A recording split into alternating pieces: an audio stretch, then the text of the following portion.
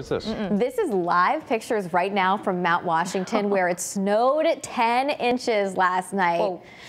Yeah. Get ready. They said that they've got uh, some really big drifts there too. 12 degrees with a wind chill of minus 19. Guys, look at the wind. Please look at the wind.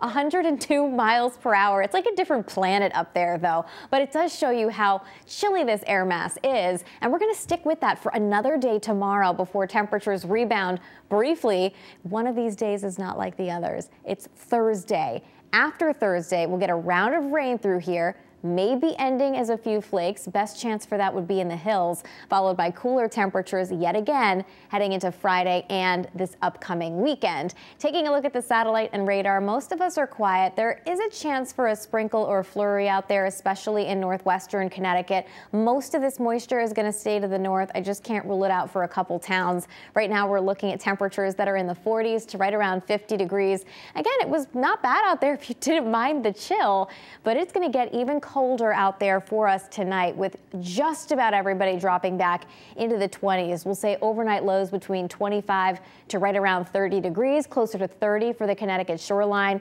with frost as we head towards daybreak.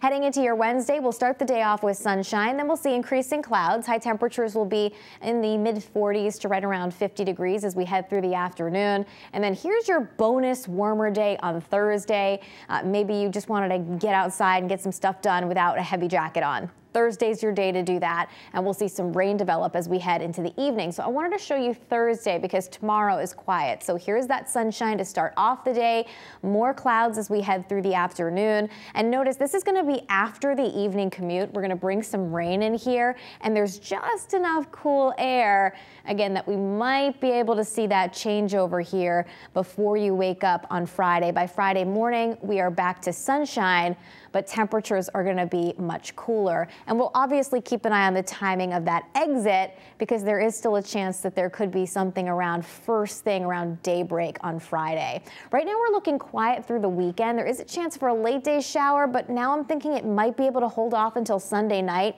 A complex weather setup Monday, Tuesday, Wednesday of next week with a few different disturbances that are going to be around in the northeast. Right now we're thinking rain is a pretty good bet on Monday. That might be able to transition over to some snowflakes if we can kind of get this thing in the right orientation as we head into Tuesday or Wednesday of next week. It is definitely worth watching. We'll talk more about it coming up in just a bit, guys.